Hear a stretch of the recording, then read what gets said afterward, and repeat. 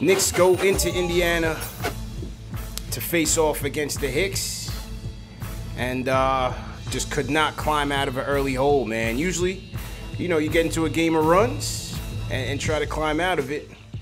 Knicks just uh, could not get timely stops, man, and, and it was Miles Turner who started it, and basically Miles Turner who ended it.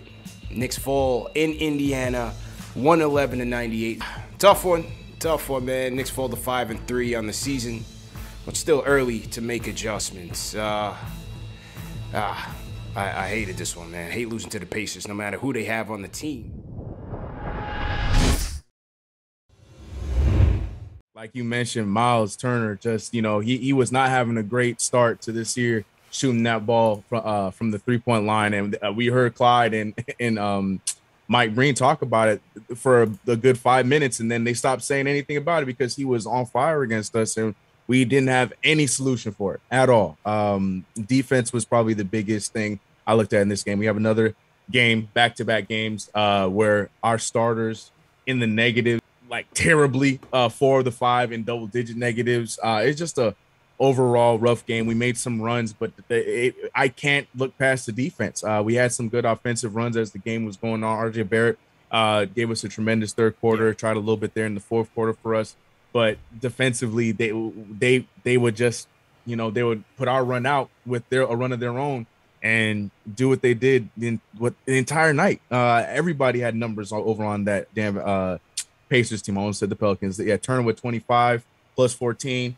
Caris LeVert felt like he was making everything in the mid range, 21 points plus 18. Nice to see him healthy, but not against us. You know what it is. Um, once again, TJ McConnell, I, I, know he only had five points, but anytime he scores timely, against us, I, man, always timely, timely man. you know. Yeah. Uh, but yeah, it's just a, a rough one. Five and three for the next three and one away. Shake it off, move on to the next one. They, they, the Knicks, the Knicks better start getting some wins because these burgers are about to expire. I've been I've been eating out for a few days, man. I am trying to eat at home now, man. Bur- burgers getting stale over days. there, man.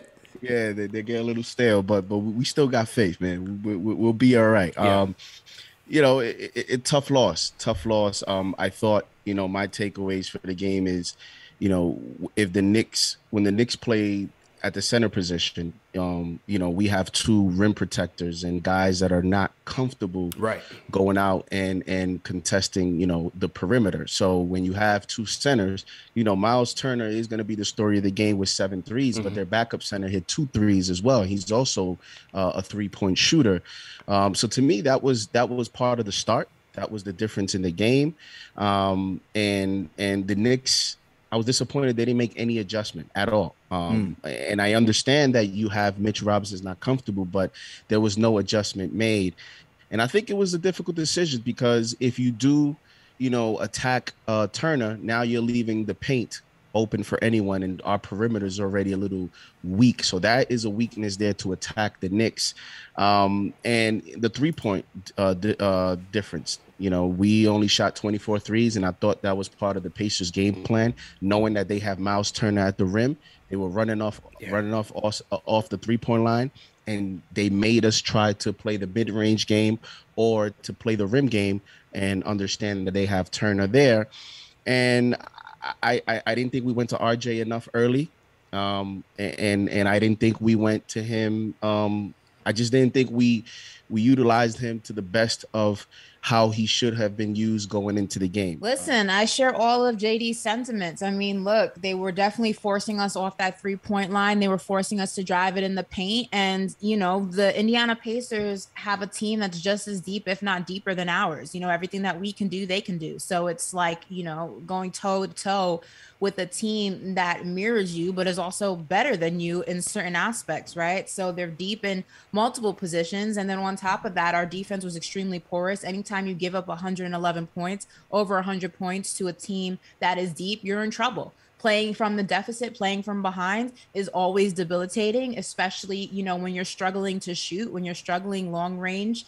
Um, you know, when RJ Barrett is the sole high scorer of the game, that's a problem. Julius Randle was living on the boards, 14 rebounds for him, quiet from a scoring standpoint. You know, they were locking him down. And it's interesting because you look at RJ Barrett and you look at the games that he's been Um, you know, he's averaging, I think, around 27 points per game in these last three games before tonight's game.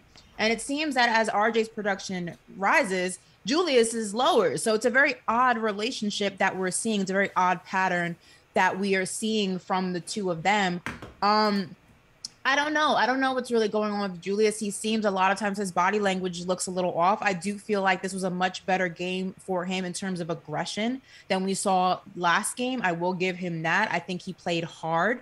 Um, but I think the thing with Julius is that when he gets locked down, sometimes I feel like he freezes up and he doesn't have, you know, a bag to tap into outside of the immediate game plan. I'm not quite sure what Thibs is seeing on the court.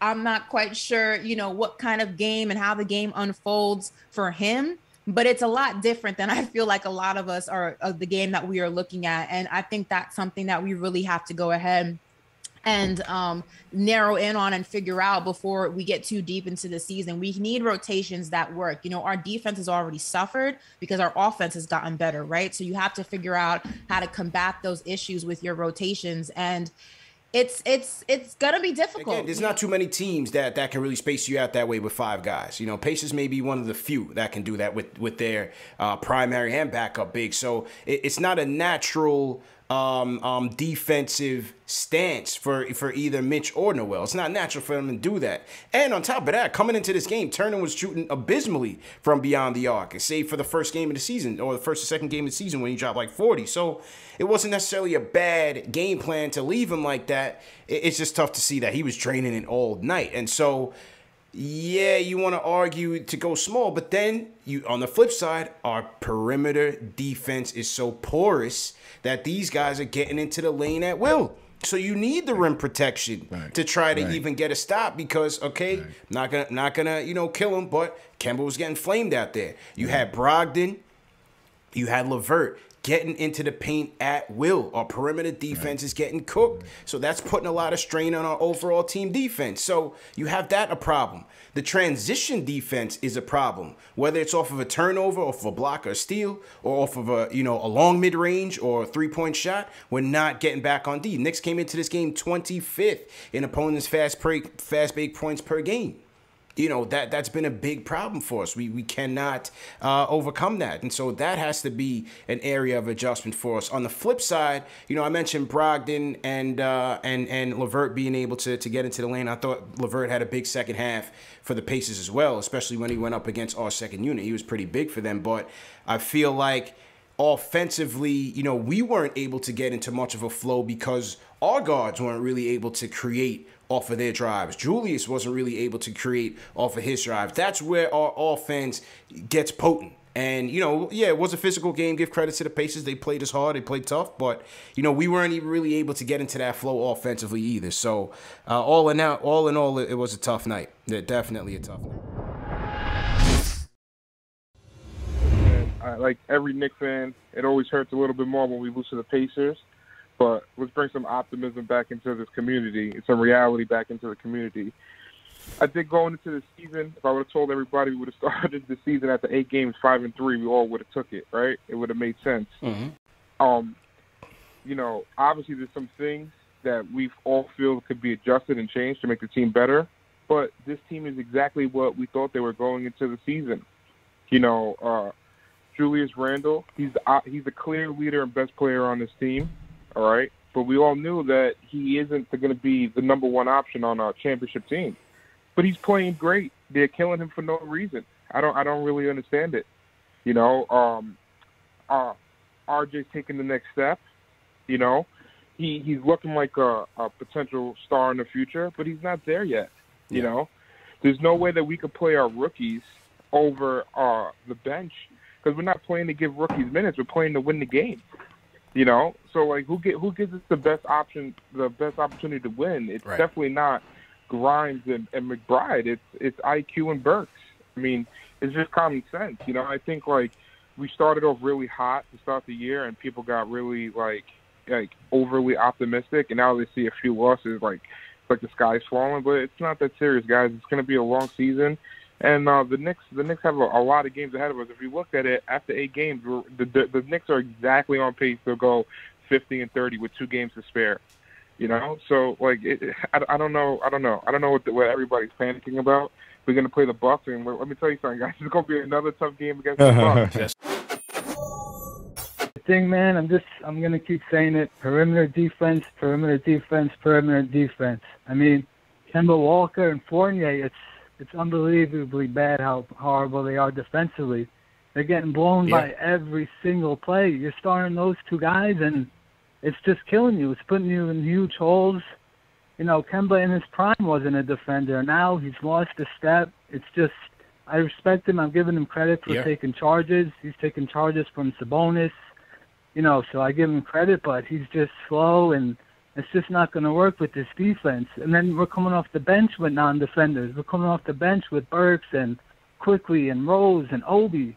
Like I was in the chat during the game, and mm-hmm. people were saying, you know, it's an effort thing on defense. No, it's a personnel thing. We don't have the Thibs does not have the personnel to run what he wants to do on defense. We just don't have the personnel to be a good defensive team, and this is going to change. These guys aren't going to get better defensively. Kemba and Fournier and the guys off the bench.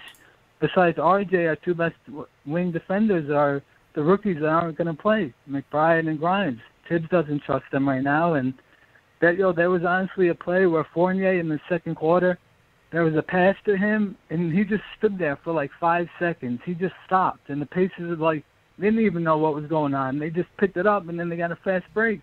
I'm like, bro, what are you doing? It's just the defense again. It's just it's non-existent. It's not even competitive. This wing defense, and it's it's just not going to get better. I don't see how it's going to improve, man.